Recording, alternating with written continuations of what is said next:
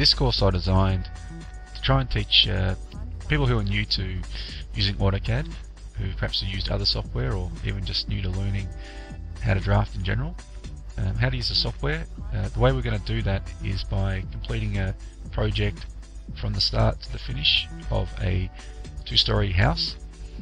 So we'll be covering such topics as uh, drawing up floor plans and sections and elevations.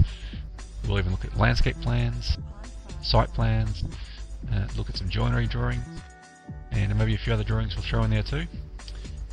Um, so the way this is set up is that we'll have various chapters and within each chapter there will be lessons uh, that'll teach different things, generally through doing exercises so that we can complete the project.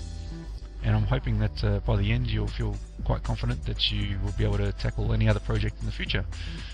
Um, I hope you find it enjoyable and if you have any comments or questions please leave them in the comment section on YouTube under the various videos. Uh, thank you.